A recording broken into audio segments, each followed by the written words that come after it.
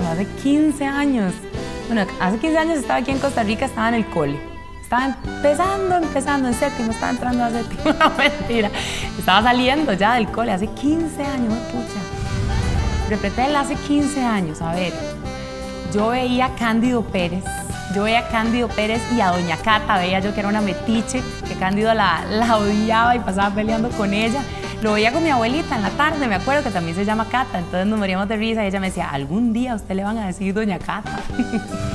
Para mí es un gran orgullo trabajar en Repretel porque es una empresa que ha cosechado muchísimos éxitos, que ha estado firme en el mercado por muchos años y que yo me doy cuenta por la reacción de la gente en la calle que es una empresa que se ha ganado el cariño de todos los costarricenses. Así que yo estando aquí me siento parte, por supuesto, de esa familia. Repretel, 15 años siendo parte de tu vida.